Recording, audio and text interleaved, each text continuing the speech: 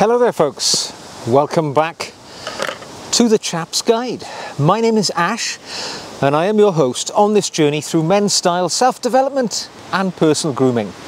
Now I know the summertime is when many of us take our annual vacation, our holidays, and it's an opportunity to catch up with the reading that we all love to indulge ourselves with when we're away from the office or from the workplace or however you spend your professional days. Now, this year I had my holiday rather early in May. So I've done some of my summer reading early and I'm going to share five books which I've read over the last month which I think you may enjoy for your summer reading. They're all a little bit different. Some are a little bit edgy, some somewhat more comfortable.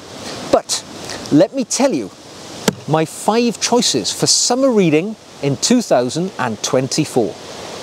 Let me begin with a book which I will openly say was the most disturbing book that I've read in the last several years. And I'll tell you for why. Now, let me tell you what it is, first of all. It's a book called Notice, which is by American authoress Heather Lewis. Now, Heather Lewis is no longer with us. She took her own life a number of years ago. She was a deeply disturbed young woman, as I understand. And this was a book which was posthumously published after her death. And it is quite a read, I can tell you. I found this book because it was recommended to me by a YouTuber called Criminoli, who I often go to for good, interesting book reviews. And I bought this book, and let me tell you, it is not a simple A to B read. In simple terms, the book is about a, our subject of the book, should I say, is a young woman called Nina. Now, she is a prostitute. She suffers with mental health problems and she finds herself recently bereaved and she is working as a sex worker, not because she needs the money, but I think because she craves the human interaction. And on one occasion, she goes home with a man who is a sadist and she enters into a situation involving the man, his wife, and it becomes very deeply troubling and uncomfortable. It's a very sexually explicit book. It's not easy to read, but she ends up going into a mental institution in which she is sexually abused by the staff. She then ends up having a same sex relationship with her psychiatrist and it gets deeper and darker, more complex. Let me tell you, you end up coming out of this book and you feel like you've gone through the ringer of life with Nina. However, it is a good read and I can recommend it. If you like a book which is challenging, which is dark, which is edgy, and it's certainly something which adds uh, a theme to your area of knowledge which you may not previously have had, but not for light reading and not for minors. Now, the next book I'm going to recommend for you is Close to Home by Michael Magee. It is a debut novel by Michael Magee and it won a number of literary awards, very highly regarded. I read this book for a book club in my local town. I actually went to the book club and it was very well thought of by everybody who read it myself included. Now, the story involves our protagonist, who is a Northern Irish lad called Sean, and he's from just after the troubles sorted sorted themselves out, settled down a bit in Northern Ireland, and the story really is a coming of age story because he's been away to the mainland in UK uh, to university. He returns to Ireland, and it is really about him trying to settle back into the community that he came from originally before he enriched himself with higher education. And he really struggles to settle back in. There's an unrequited love story with an old uh, girlfriend of his from his childhood days.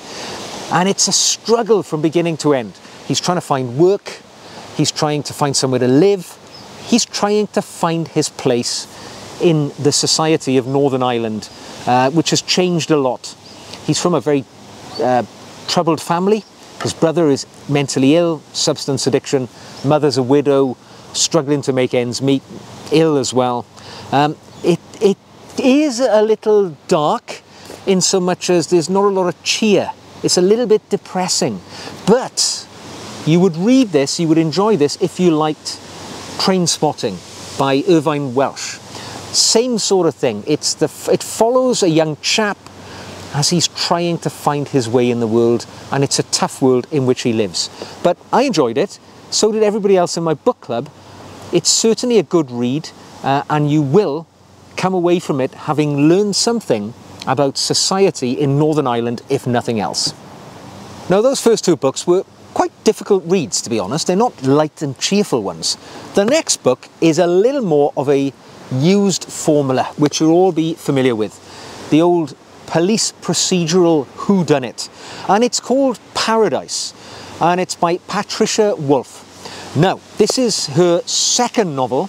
The first novel was called Outback, and it features the same hero, a chap called, let me remind myself, Lucas Walker, who's a detective sergeant in the Australian Federal Police, so a bit like the FBI, but in Australia. And um, although it's the second in a series, you don't need to have read the first, it's quite standalone. In the first one, he was kind of out in the outback, as the name of the book would suggest, and he investigates a missing tourist. In this one, he finds himself on the Australian Gold Coast, recovering from the events of the first novel, and he ends up getting drawn into quite a complex um, organised crime group, which are uh, a biker gang. He's also, at the same time, involved with the investigation of a rather nasty home invasion murder involving a mother and a young child. So there's a lot going on, but it's actually a really good read. It's, it tells us a lot about the, the life of uh, Australia a little, part of the world where many of us, you know, we don't get to visit very often. It's so far away from our Western world, but I really enjoyed it. Uh, there's a third book about to be published called Opal, featuring the same character. And as I say, this is one, I read this on holiday lying by the side of the pool in Oman. And I really enjoyed it. I read it over just about two days. It's a good, thumping story, and it's just good old fashioned police who done it. You'll enjoy it. Now, my next book is a departure from the world of fiction. It is a travel writing book because I like to read about places and journeys around the world. It just makes these places come alive in my mind. And I encountered this book, which is called The Rum Jungle Hotel, written by Jonathan Evans, when I attended a literary festival, um, maybe about two months ago. And the author, Jonathan Evans, read some excerpts from this book in that festival. And I enjoyed it so much, I bought the book from him after the actual event. Um, and it just really tells the story of this man, Jonathan Evans, at an earlier phase of his life, I'm guessing in the 1960s, when he was on the hippie trail, when travel was not quite as open to so many people and easy to find as it is today.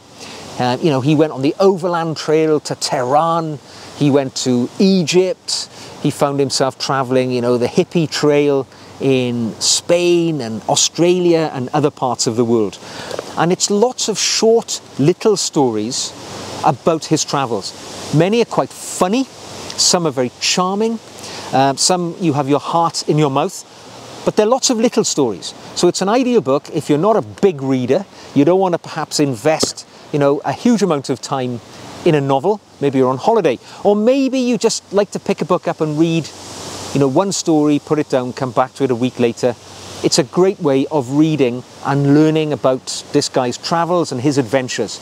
Um, I would recommend that one. Good for a bit of fun.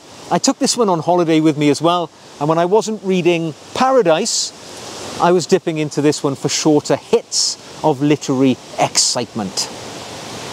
Now, my last recommendation for you today is a book which I'm still at the very tail end of. As you can see, I'm still reading this one, and I've got to read it in two days because it is the book of the month for my current book club.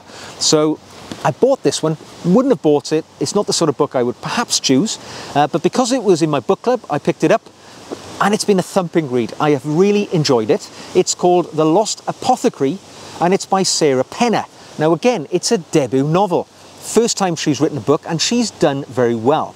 It's an interesting concept, pure fiction, but it's told over two time zones, or time frames, I should say.